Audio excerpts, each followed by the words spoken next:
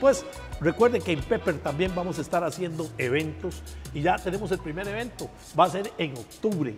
El es. 11 de octubre vamos a tener el baile de egresados del Liceo Roberto Urenes Mesén. Así es que si usted es perico, pues ya usted tiene los números, ya los hemos dicho varias veces. Perico es porque así nos decían a todos los Sí, sí, sí, El uniforme era blanco con verde, entonces nos decían perico. Pásenla Los egresados saben que así es como se les dice.